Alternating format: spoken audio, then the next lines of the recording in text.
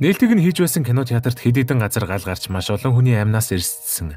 За мөн кино гаргаж байсан кино фестивалуудтай холбоотой маш олон хүмүүс ээлж дараалан амнаасаа алдсан гэгддэг.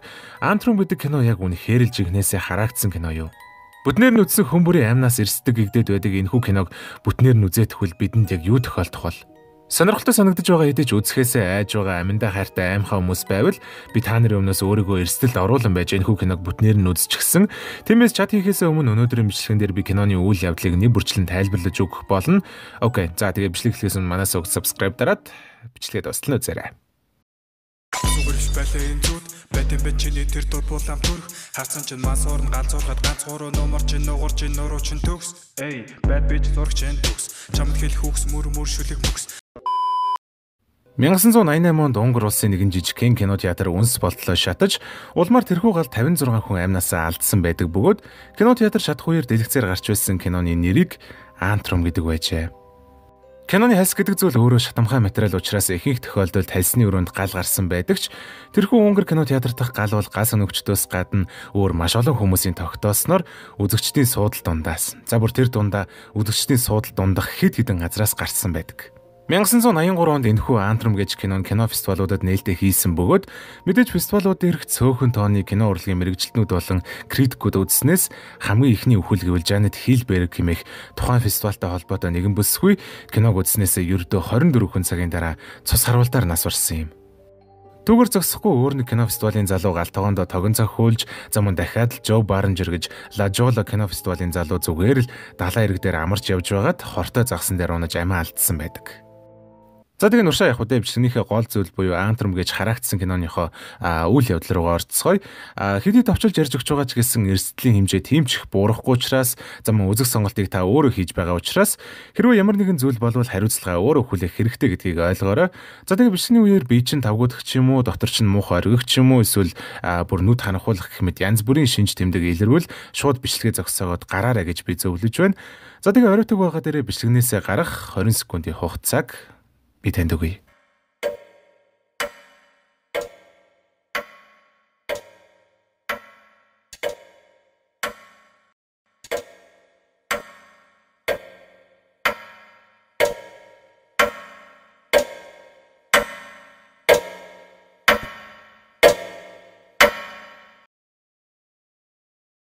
Кино маань Максин нэмэх нэртэй хайртай нохоноос хаагцч буй нээд хүүгийн зураглаар эхлэж удалгүй бид түүний ээж болон эгч хоёртой танилцдаг. Эгчийг нь Ороле гэдэг бөгөөд Orally Окей. Тэрээр нэгэн өдөр дүүгийнхээ сэтгэл санааг дээрдүүлэхийн тулд хамтдаа өөргөвчтэй аялалд гарч ойн гүн рүү алхасаар ийм газар ирнэ.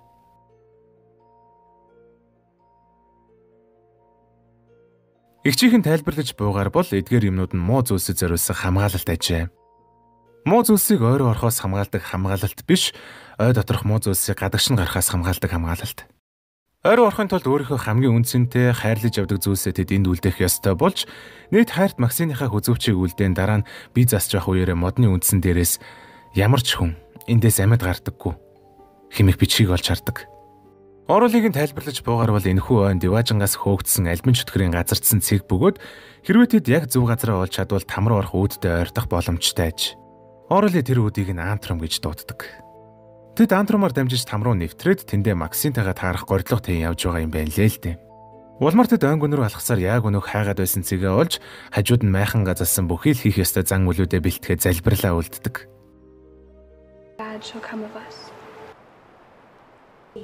From all will hear and one by one we pray to thee protect us from all we'll see Оролыг найз Анх гэж залуу өөрийнхөө хэдэн жилийн турш судалж мэдсэн Антрум гэж там руу орох хаалганы талаар бүхий л нарийн мэдээллүүдийг түүнд ном болгож бэлдэж өгсөн юм байна лээ. Номонд өгүүлснээр бол гүнзгий хух тусам эргэн тойрных нь байгаль харанхуулж там руу баг багаар ойртох болно.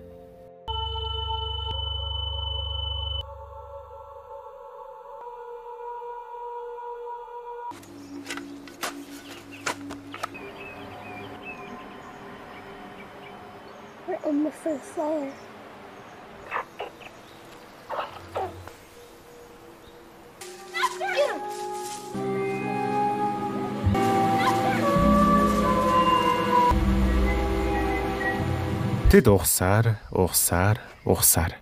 Эцэс нэг юм жаахан завсарлага авч юм идэн суух энэ үеэр нь нэгэн Япон хүн ойр орж ирээд яг гидсээ хүлж амиа орлох гэж байсан ч нийт битгий гэж ойрлоо зогсоочихдаг. Мисимом замэндэ. Чэв. Тэмо нанимоно мого итэ. Юриштэй курэн но ка.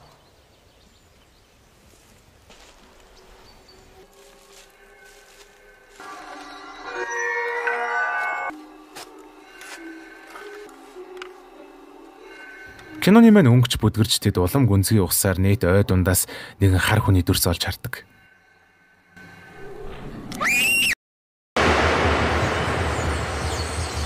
Ари болж тэд майхандаа орон унтах гэхэд нийт унтахгүй байгаад байхаар нь их чин чи яагаад унтахгүй байгаа юм бэ гэсэн чинь таны үлнөөс муухай өнөр өнөртэй байна гэж байдаг шүү. Орлыг хүлэн угаахын оронд өнөөх номон дээрээсээ Сербрус гих тамийн үдийг хамгаалж байдаг. Хүний биеэрч зогсохгүй бүр сүнсийг нэгдэх чадaltaй гурван толгой зэрлэг нохооны тухай нийтэд тайлбарлаж өгөх бөгөөд тэд хоёулын руу дайрах болов гэж нийтийг асуухад тэд 5 дугаар давхрын тамийн хашаанаас гинжлэгдсэн байдаг болохоор одоохондоо хоёулаа аюулгүй баха бидний үнрийг л авчихгүй бол. Тэгээд хөлмөлөө угаал та. Улмаар нийт гадаа гарч шүдээ угааж байгаад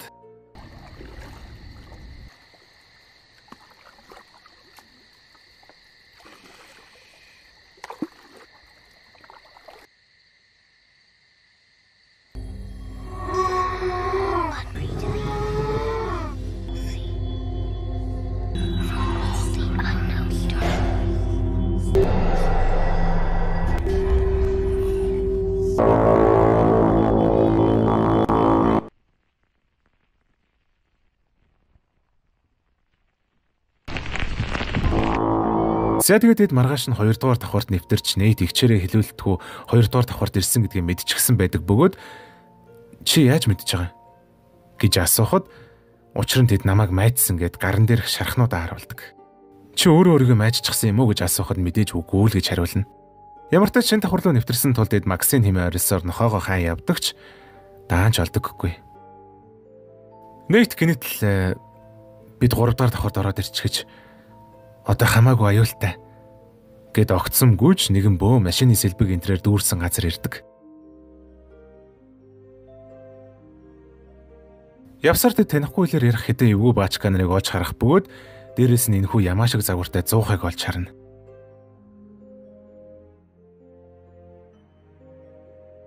Тэд үүний дотор нэгэн хүнийг амьдаар нь шарж алж байдаг.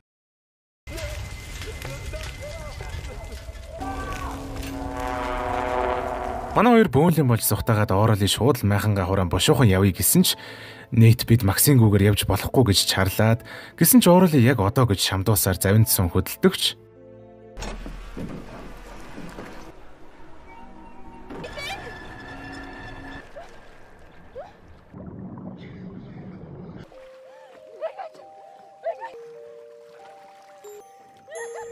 Нийт гарч ирчихэд нэгэн өгүүлбэр хилдэгч тэр нь одоо reversed буюу ухраачсан аудио байдаг. Аа тэгээ тийм болохоор хэдүүлээ тэр зөрүүлээд reverse хийсэн дүрсийн reverse хийгээд яг юу хэлснийг сонсцгоё.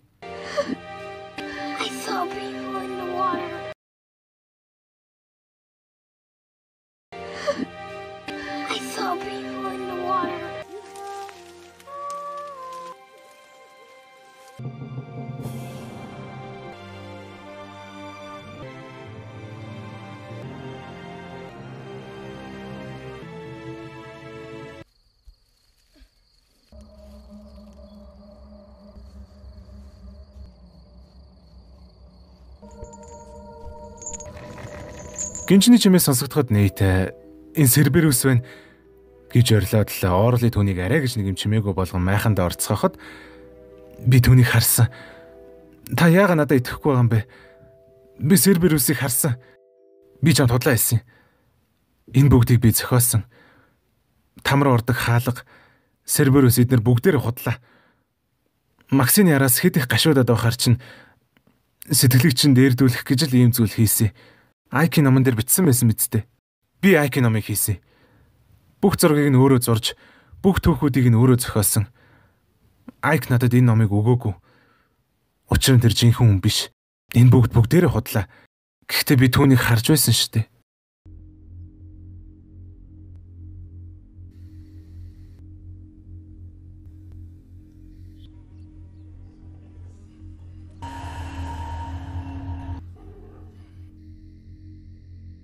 Гадаад гинтл нохот архиралдах чимээ сонсогдож манай хоёр гарч гүйсээр модон дээр гарч зогсон аюулгүй болоод тэндээ унтаад өгөх бөгөөд э, улмаар тэ дөрөвдүгээр давхар руу орж байна.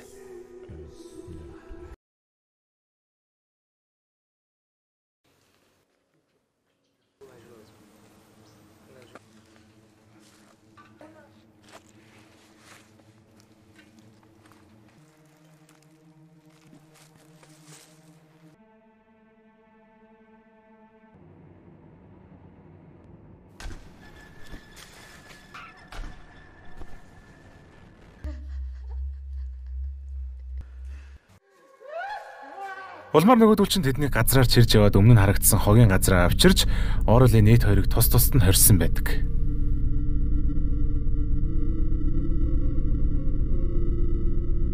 Улмаар тун бодлого нийтийг торноос нь гаргаж төмөр ямаан зуух руу аваачин хийгээд шарж эхлэлгүй яах вэ?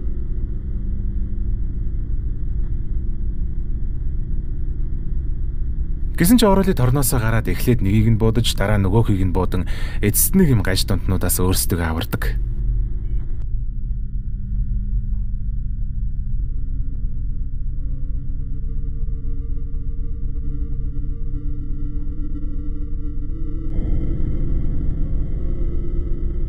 Булмар бид нэтийг ойн дунд ганцаархнаа сууж буй зураглал руу шилжин тэрээр цусны мөр болон Серберүсийн гинжийг дагаж явсаар эцэст нэг юм өнөх араатныг оллоо гэсэн ч тэр нь үнэндээ хавханд хөлөө хавжуулсан ингээл нэг нохоо байж таарна.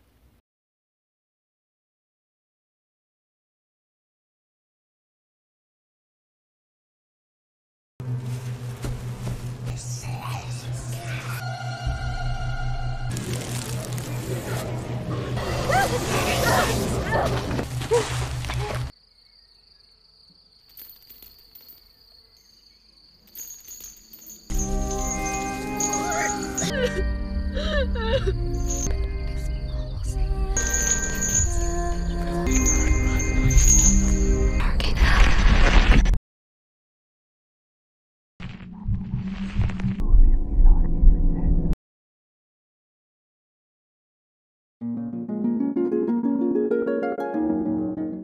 Тэгэхээр ерөнхийдөө айгүй олон хүмүүс энэхүү киног надад санал болгоход нь анх сонирхоод үзэхэд хараалтай кино гэдэг айдиа нь өөрөө надад айгүй сонирхолтой санагдаж байсан ч яг үнэндээ яагаад юм худлаа гэдэг нь ил тодорхой кинод ингэж олон хүн итгээд байгаа надад үнэхээр ойлгомжгүй санагдаж байлаа.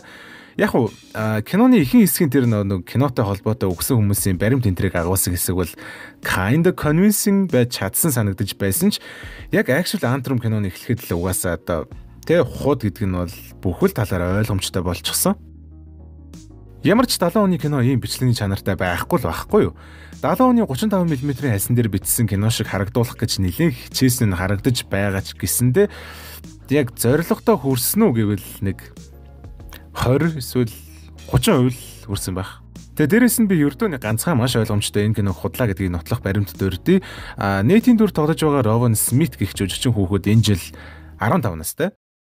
Тэгэхээр одоо яаж энэ жил 15 таа байгаа хүүхэд тэртех 1983 онд 12 настай байх вүлээ дээ. Ийм ойлгомжтой юмд одоо баахан хүн хууртаад л ёо хараалтай кино үзүүл өхөн гэж штэ бүр хараалтай кино гэж штэ бүр ингээд үзэж болохгүй ба ба ба ба гэдээ айж байгаа нь uh it's it's really dumb you know it's it's so dumb Юм хон гуглдж мууглдж дүрс мөрснийхин чанар энтриг нүдэрээ ялгаж ядчил өөрсдөө тархиар сэтгэж чаддгүй юм уу те. За тэр худлаа үнэн чи яах вэ? Яг actual кино гэдэг утгаар нь харсан ч гэсэндээ this movie is freaking boring. Нилийн creepy байж болохоор хит хитийн scene болон ерөнхий ID хоёроос бусдаар үнэндээ л сонирхолтой юм нэгч байсангүй миний хувьд бол. Эхний тэр тайлбарыг нь оролцуулахгүй гэвэл 1 цаг 20 минут гаруйгийн кино хэрнээ надад л 12 цагийн урттай кино шиг л санагдсан. Everything about this movie is boring. За тэгээ угаасаа зөвхөн миний л харах үнцэг гэдгийг ойлгож байгаа уу. Надад таалагдахгүй байлаа гэж та нарт таалагдахгүй байхаа л бгүү.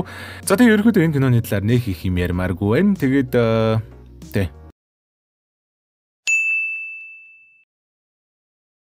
чамд дидүүлэх тэр мөч. Идэж чухтан өдрөө минь нэрмэч өглөө өдөр орой өдөртэй шүн гадуу гарan зомби нүд журмас дүрмэс. Ширэнгийн хулиг болон даг бишгсэн шүн дунд болсон жун тэнсэр тэн Don't be dancing.